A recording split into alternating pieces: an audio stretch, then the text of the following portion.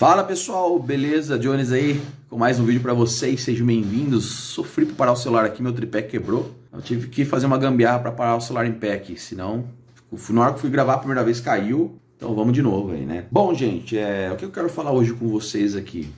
Eu sempre tô conversando com o pessoal aí no meu dia a dia, né? Sempre que eu posso, a gente tenta agregar um pouco de valor aí, mesmo que seja nas palavras, no que está nas nossas condições, a gente tenta ajudar, né? A pessoa continuar a acreditar nos sonhos delas, não desistir daquilo que ela acredita, o que eu mais vejo nas pessoas, pessoal, são pessoas com pensamentos limitados. O que, que eu quero dizer com pensamentos limitados? Pessoas que se encontram em uma zona de conforto. Zona de conforto é, uma, é um estágio da vida daquela pessoa que para ela tá bom. Ah, eu tô feliz ganhando 1.500, 3.000, 5.000 reais e para mim tá ótimo isso daqui.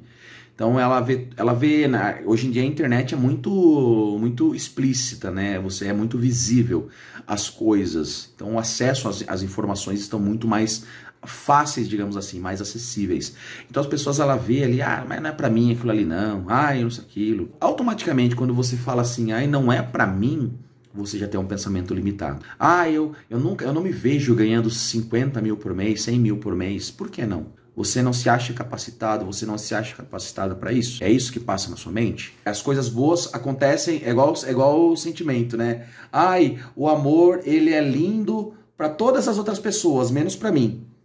Então, para mim, isso aí não serve. O, o amor ele não foi feito para mim. Então, são, eu, eu falo isso porque eu já pensei assim. Eu falava assim, nossa, todo mundo consegue se relacionar, se dão bem, são felizes, menos eu. É um pensamento limitado. Então a gente tem que fazer o quê? Tem muitas coisas que nós temos o costume de colocar culpa em outra pessoa, colocar culpa em todo o mundo, menos em nós mesmos. O erro nunca está em nós, mas é, é um pouco de ego, né? Quando afeta o ego de uma pessoa, as coisas mudam. Então a gente tem que entender que muitas das vezes o erro está em nós. Nós precisamos mudar algo em nossas vidas. Eu estava conversando com um amigo esses dias e a gente conversando, falando sobre, sobre salário. Falar, poxa, cara, você ganha 3 mil por mês. Para você um dia querer ganhar 5, 10, 20, 30, você vai conseguir fazer isso sendo a mesma pessoa? Com certeza não. Você acha que uma pessoa que está numa empresa, está numa gerência, um executivo que seja, é uma pessoa que está ali na produção, ela tem a possibilidade de chegar em um cargo altíssimo assim? Com certeza tem. Mas a questão é se as pessoas realmente estão preparadas para pagar o preço para chegar ali. Aí você fala assim: ah, para mim tá bom, eu ganho meu salário aqui, eu gosto de ser CLT. Tranquilo. O que, que você tem que entender? Para você ser CLT, o seu patrão, digamos assim, ele teve que pensar fora da caixinha. Então ele teve que sair daquela corrida dos ratos e arriscar. Eu vou tentar, eu vou arriscar, muitos dão certo, outros não. Então, se você é CLTzão aí da vida, não estou falando no sentido de, de, menosprezar, mas se você trabalha registrado para alguém, o seu patrão ele teve que pensar fora da caixinha. Então ele fala: eu vou arriscar, eu quero ter um próprio negócio, eu preciso de colaboradores que me ajudem. Você tem a capacidade também de um dia você montar um negócio próprio, de você realmente seguir o seu sonho, mas às vezes por insegurança, por medo, você não quer arriscar. Ah, eu não vou fazer isso porque eu estou seguro aqui. E às vezes as pessoas que você está convivendo, eu digo nisso em relação à família mesmo. Não, você está seguro no seu trabalho ali, continua ali quietinho pessoas limitadas. Na época, quem assistiu A Procura da Felicidade, tem uma frase que ele que o Will Smith está falando lá com o filho dele, que é o Chris, o Chris Gardner, sei lá o nome daquele do, do personagem, no caso, né? Que ele vai virar corre, é, corretor da bolsa. E ele fala pro filho dele que se ele quisesse, ele teria que correr atrás, mas ele nunca seria um jogador de basquete e tudo mais. E, a, e o filho dele joga a bola e fica muito triste. Você pode ser qualquer outra coisa, menos jogador de basquete, limitando a criança. Aí ele se toca. Aí ele fala: vem cá, é, na vida, as pessoas elas não conseguem realizar os seus sonhos suas metas, seus objetivos, e por conta disso elas tentam limitar os seus sonhos. Então nunca permita, nunca deixe que alguém diga que você não pode fazer alguma coisa. Se você quer algo, corra atrás e ponto. Então as pessoas muitas das vezes, eu não vou culpar essas pessoas também, né, por conta do, das limitações que elas tiveram, mas não permita que as pessoas elas limitem você de sonhar. Não permita que as pessoas coloquem areias nos teus sonhos, nos teus planos, para que você não venha realizá-los. Então, por isso que eu falo, cala a boca, no sentido de ficar calado, de você não falar dos seus objetivos, dos seus sonhos, do seu próximo passo, do quanto você ganha, dos seus relacionamentos, porque quanto menos pessoas souberem da sua vida, maiores serão as chances de você conseguir realizar os seus sonhos. E isso daí você tem que levar para qualquer área da sua vida. Eu sei que às vezes é difícil a gente não ter com quem desabafar certos assuntos, mas às vezes é melhor do que você comentar alguma, algum assunto com alguém e essa pessoa não estar preparada para estar ouvindo o que você tem para dizer. Às vezes você comenta algo, a pessoa fala, viu, você é louca, você é louco, olha para você, você fica falando isso como se você fosse especial. Você não tem capacidade para isso.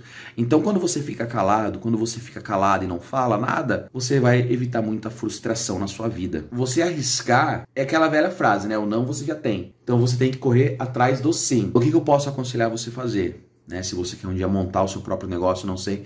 Eu digo em qualquer área, trabalha para alguém que já está nessa área. É um conselho que eu dou para você. Ah, você quer, você quer abrir um salão? Você quer trabalhar com, com sobrancelha, design de sobrancelhas? Ah, você quer ser um empresário do ramo de importação, isso aquilo? Tenta se encaixar em algum lugar que já está exercendo essa função, para você absorver o máximo de experiência que você possa conseguir depois que você absorver essas experiências, você já vai ter uma bagagem para poder iniciar o seu próprio negócio.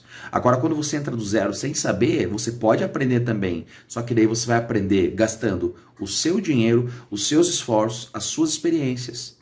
Então, se eu posso, entenda uma coisa: não estou falando que você está se aproveitando, mas se eu estou trabalhando para alguém, se eu errar, eu vou estar tá errando com o dinheiro da outra pessoa. Porque eu estou sendo um CLT para aprender ali. Então eu erro, aprendo, então eu vou ter mais oportunidades para errar. Depois disso, você pode o que? Arriscar. Você não fica preso só na nessa, nessa vibe de ficar trabalhando para as outras pessoas, porque senão você fica limitado. Ah, não, mas eu posso me tornar um executivo. Beleza, vai se tornar um executivo. E por que, que você não pode montar a sua própria empresa? Então, por que, que você não pode montar a sua própria empresa?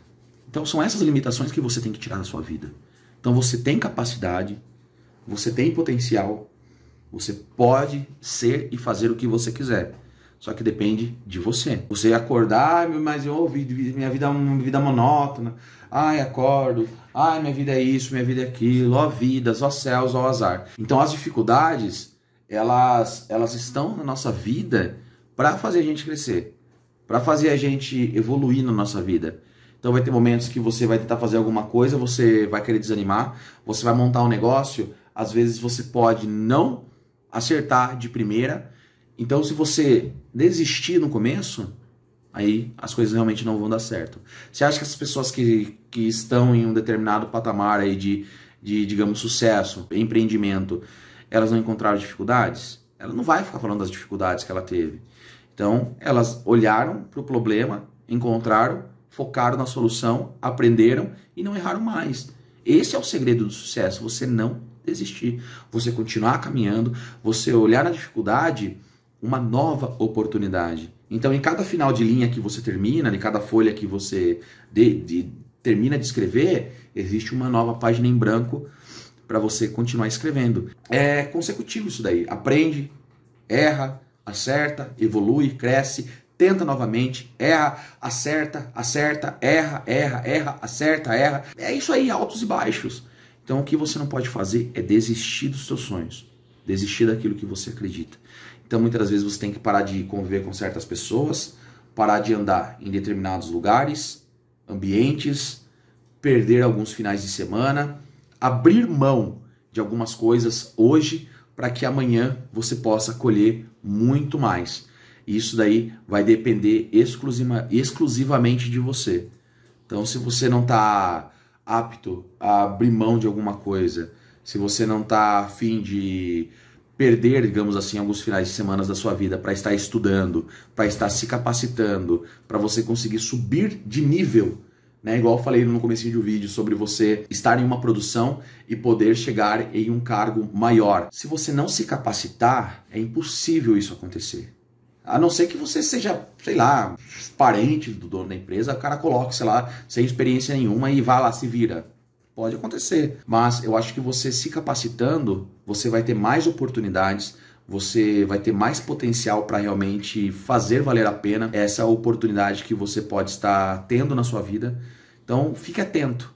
É, eu sempre converso quando eu falo assim: ó, não, não, não espere a oportunidade aparecer para você estar preparado esteja preparado para a oportunidade. Se a oportunidade chegar até você, você já está preparado ou preparada. Então a capacitação, a preparação antes é muito importante. Se realmente aparece uma oportunidade para você, você não está preparado, ah, mas agora eu vou correr atrás. Não eu, não, eu não, eu não posso esperar, você tem que estar tá preparado. Então você se capacitou por anos, a oportunidade apareceu. Então você estava capacitado para poder receber essa oportunidade. Então faça isso, né? Não se limite, não veja você, não veja sua vida como uma vida qualquer. Por mais que as pessoas às vezes não acreditem em você, tirem sarro de você, o principal de todos acreditar no seu potencial e nos seus sonhos é você mesmo. Se nem você acredita em você, porque as outras pessoas vão acreditar?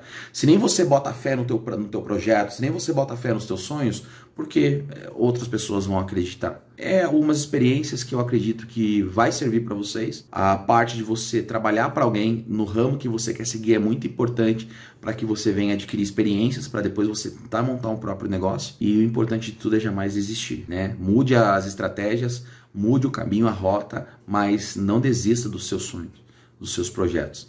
Porque às vezes, por que, que não dá certo? As pessoas ficam pulando de galho em galho. Ah, não deu certo isso, eu vou tentar isso aqui. Ah, deu uma dificuldade nisso, paro com isso aqui, vou começar essa outra coisa. E fica pulando de galho em galho. Então nunca consegue eh, consolidar alguma coisa mais ali sólida, né? Alguma coisa que realmente ela gosta. Esteja apto a aprender, a realmente abrir mão de algumas coisas na sua vida e não não deixe ninguém colocar areias nos seus sonhos. E lembre-se que você tem potencial. Você é muito especial, você nasceu para ser feliz. O sucesso, as oportunidades estão aí tudo bem que é relevante, né? O sucesso para algumas pessoas é, é muito irrelevante de uma para outra, mas o foco do vídeo realmente é alertar você que você tem muito potencial. Eu incentivo as pessoas a empreender. O Brasil precisa de, de empreendedores, né? Através de você, você pode estar abrindo, né? É, despertando o desejo de vencer de muitas outras pessoas e através da sua vida, né? Da, da sua coragem, da sua decisão em realmente tomar uma atitude em empreender, abrir um próprio negócio, você vai estar tá abençoando muitas vidas. Então lembre-se disso, você vai ser um canal de bênçãos na vida de outras pessoas. E através de você, essas outras pessoas vão poder estar abençoando outras e outras pessoas. Quando você emprega alguém, você não está empregando só aquela pessoa, você está ajudando aquela pessoa, o marido, a esposa, os filhos, muitas outras pessoas por trás disso. Então, existe muitas pessoas envolvidas ali na sua empresa. Então, eu acredito que se esse vídeo serviu de, de alguma coisa para você, comenta aí, deixa um likezinho. E do fundo do meu coração, eu peço para você, não desista. Por mais que seja difícil, estuda, pensa como você pode resolver isso, como que você pode fazer para contornar essa situação e continua tentando. Uma hora o sol vai brilhar, né? Igual a gente fala, o sol uma hora ele vai brilhar e vai dar certo. O importante é você estar sempre em movimentação, não prejudicando ninguém, não passando ninguém para trás. Basicamente é isso, gente, certo? Então é isso que eu queria deixar aqui para vocês. Eu sei que o vídeo ficou um pouquinho longo, mas é, para você que ficou até aqui, eu agradeço muito. Eu espero que você venha realizar todos os sonhos e objetivos aí com muita fé no coração, muita fé em Deus e que você venha ter muita saúde para poder realizar todos esses desejos aí. Fechou? Aquele abraço nos encontramos em um próximo vídeo. E se você quiser ver outros vídeos, pode seguir no meu canal no YouTube, Johnny Scar. No, no Instagram também tem algumas coisas que eu posto. E a gente se vê. Um abraço. Tchau, tchau.